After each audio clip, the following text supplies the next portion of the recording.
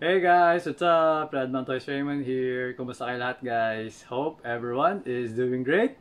So ito guys, demo ko lang ulit sa inyo yung Smoken Spitfire Tracer natin na Max Brasser. Okay? So from our last video kasi, ang gamit natin dun is gas blowback rifle.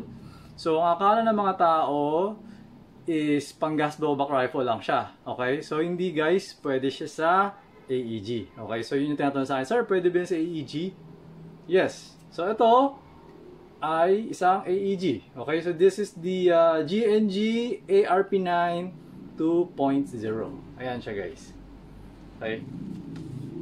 Hindi ko matanda ako, nag-vlog ko na to. Hindi, pa parang ano, nakapag-vlog na ako eh. Okay? So, ito yung magazine niya. So, this is a spring type, no?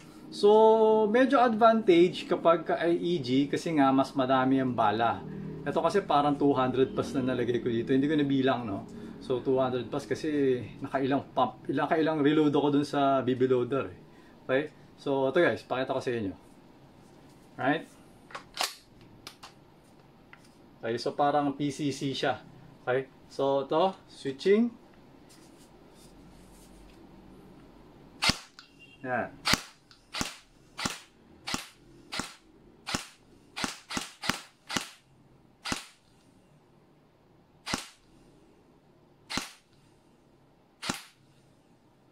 Okay?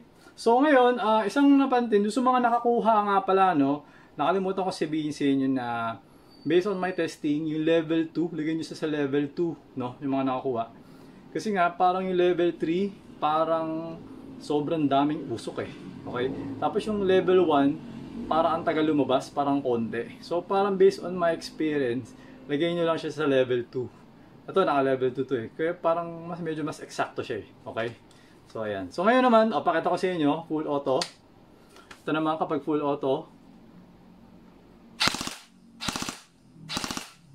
Ayan.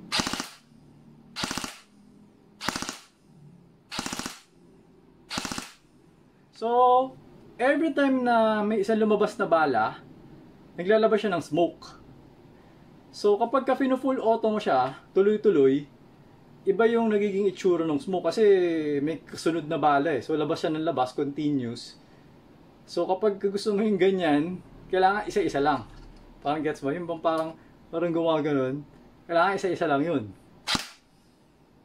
Ayan, o. Oh.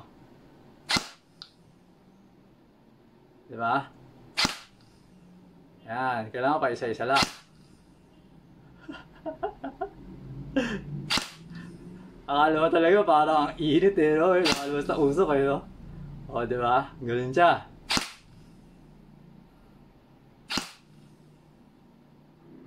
Okay. Ngayon, meron din nagtatanong sa akin, Sir, matagal ba yung malobat? Hindi ko sure eh, pero parang matagal naman kasi simula nung pinaglalaro ako to ng isang araw, tsaka hanggang ngayon, hindi ko pa siya charge Kumbaga, pagdating niya sa akin, nilaro ko na siya eh. Hindi ko rin siya kinargahan ng, ng fumes, yung fuming oil. Okay? Ngayon meron din natatanong sa akin, uh, mabilis lang ba mabili yung fuming oil niya, yung oil? Uh, I think yes. Kasi yung fuming oil niya, yun din yung mga ginagamit dun sa mga fog machine or yung smoke machine sa mga concert, sa mga bar, sa mga party. Di ba? Minsan may makikita kayo pag pumunta ng mga gimmickan, di ba? Meron yung shhh, yung mga ganyan, may mga usok. Yung ginagamit na liquid doon, yun din yung nilalamit na liquid dito. Ganun. So, so I, I believe maraming makukuha. Okay? Pero wala pa ako exactly, pag bibili ka sa akin, exactly wala pa ako mabibigay sa'yo. Pero parang ano eh, meron yata siya Shopee or sa mga Lazada eh. Kung hindi nagkakamali, no? So, yun. Tapos, hindi ko pa rin siya nire-reloadan simula nung nakailang putok na ako sa kanya. Kasi based on dun sa manual, parang nakasulat, parang 10,000 shots yata eh. Parang yung level 2. Basta, basta pagka level 1, mas maraming shots bago maubos. Kapag ka level 2, nababawas. Tapos pag level 3, para mas konti. Ganun. So, ang marirecommend ko doon sa mga nakakuha, katulad ng sabi ko sa inyo, basahin nyo muna yung manual. Okay? Mabilis na naman siya intindihin. Tapos, pag meron kayong medyo hindi naiintindihan, i-PM nyo sa akin. Okay? Eh, medyo mas, para mas ma-explain ko sa inyo. Okay? So, ito guys, pakita ko ulit. Uh, demo ulit. Okay? Pakita ko sa inyo para sa mga gustong makita ko ano itsura niya pag EEG. So, we're going to go full auto. Medyo mas exciting pag full auto eh. Ito, full auto. Burst mode.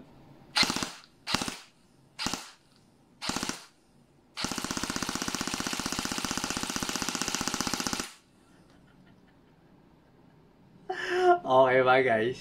Okay. So, ngayon, meron pa pala ako isa nakukuha na question. Sir, pwede ba sa pistol? Yes, pwede yan sa pistol. So, ito guys, kukunin ko yung pistol, papakita ko sa inyo. So, ito guys, ganito siya guys, pag pistol, no? Okay. So, kapag pistol, kapag ang requirement is kailangan merong inner thread, yung ano mo, yung barrel mo, tapos bibili ka ng adapter. Okay? Kasi nga, yung Spitfire Tracer natin, wala siyang adapter. So, it's more on, ikakabit mo na lang sa barrel.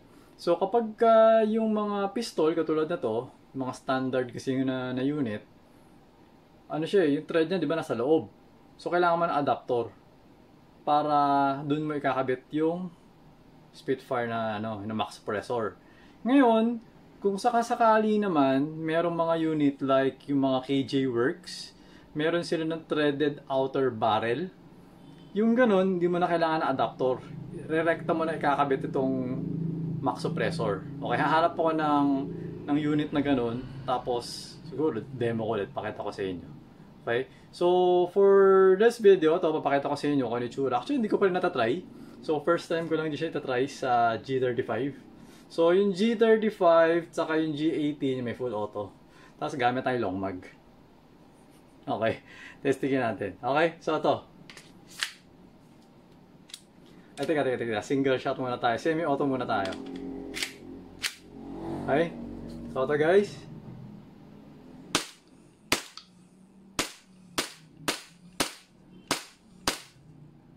Okay? Yan, ganyan ang tsura niyan. Okay? So ngayon naman, mag full auto na tayo. So burst mode.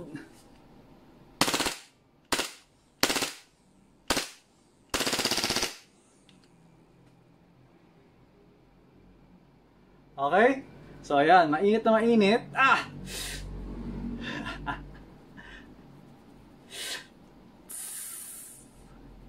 Okay? So, ayun, nag-open, ano siya, nag-open chamber siya kasi wala nang bala yung magazine. Okay? So, grabe, ang dami usok ah. Lahat ng part lumalabas. okay? So, ayun guys. So, ito, ak, pag-pistol. Okay? So, ayun guys. Hope na-enjoy nyo yung ating video. Until next video, always remember to stay safe, stay great, be good, and be thankful always. God bless everyone. Bye-bye.